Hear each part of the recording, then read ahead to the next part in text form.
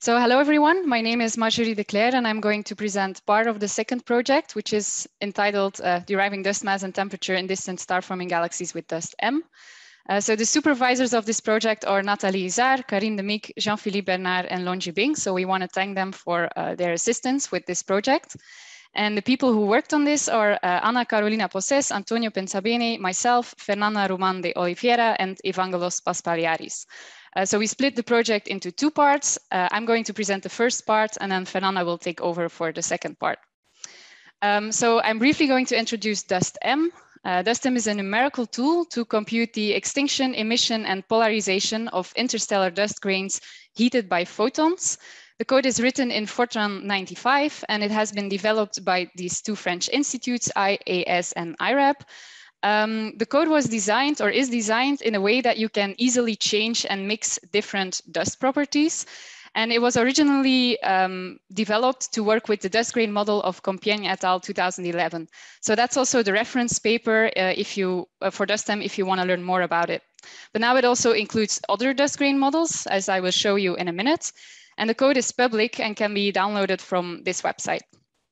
So the goals of our part of the project were twofold. The first one is to test the influence of different parameters on the dust spectral energy distribution and extinction curve. And uh, the parameters that we played with are the intensity of the interstellar radiation field, the color of the radiation field, or the temperature if you want, and the size distribution of the dust grains. And then we also compared different dust grain models, um, including the Compiègne et al. 2011, the THEMIS model, and the Draine and Li 2007 model. And of course, I don't have time to show you uh, everything and all the results, but I'm just going to focus on two things. Um, so the first thing shows what happens uh, when you increase the intensity of the interstellar radiation field. So basically, this means that you have more photons, so the dust grains can absorb more energy, and as a consequence, they will also emit more energy. So the spectral energy distribution of the dust grains will shift upwards. And then we also noticed that the larger grains, which make up the bulk material of the dust, um, will heat up. And so the peak of their emission will shift to shorter wavelengths. But this does not happen for the smaller grains, which behave as uh, molecules and which will just uh, emit at specific wavelengths. And then the second thing I want to show you is that different dust models um, have different uh, dust SEDs. So you can see several differences. Uh, but I just want to highlight one thing, which is the different slopes at long wavelengths. And um, this is because the different models use different dust emissivities, and this will have an influence on the dust mass that you derive from the dust model. So um, using different models, you can get different answers. Um, and with that, I'm going to hand it over to Fernanda. Thank you. Thank you, Marjorie. Uh, now we'll talk about the other part of our project, which was uh, me and Evangelos were fitting SEDs to two high redshift galaxies. And for that, we need to use the DustEM wrapper, which is an interface in IDL or GDL uh, to run DustEM to fit SEDs to the dust emissivity with a chi-square minimization. This can be used both with photometry and spectroscopy. However, uh, do take with a grain of salt because uh, the radiation field that we assume is not appropriate for a whole galaxy. But we, we tried anyway. Uh, one thing that we had to change in the code was uh, we have to shift the spectra to the frequency um, to fit the frequency of the emissivity of the dust because these uh, galaxies are high redshift. So here on the side, you can see uh, a fit. the blue data points are photometry, and the black is the fitted spectrum, uh, the fitted SED. And you can see also these squares. These are the expectation of the model for the photometry band as well. Uh, you can go to the next slide. So here's one of the galaxies that we fitted. Uh, this is a redshift 1.22, and here on the side is pretty much what I showed before. So the blue points are the photometry, but we also have spectra for this galaxy, uh, which is shown in gray in the back. And the different, uh, so the black is the full uh, SED, but you can also see the different components of the dust. So we have many different components uh, of the black body emissivity of the small uh, dust grains. And we also have this blue, which is the ionized PAH component. Uh, you can go to the next slide.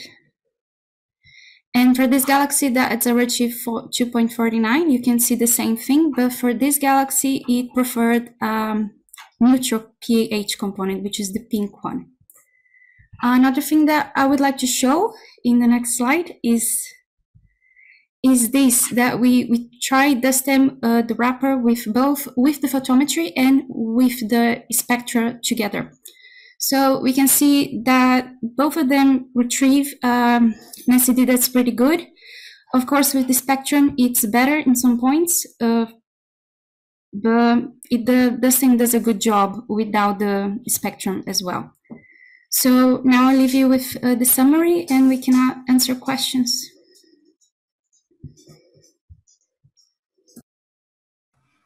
Thank you. So are there any questions? So I don't see any in the Slack. So for the last part, uh, when you fit the detailed uh, spectrum, did you uh, also vary the charge of the PAH? Sorry, can you repeat that? I didn't hear. Yes, when you fitted the detailed uh, mid-infrared spectrum, did you play on the charge of the PAH?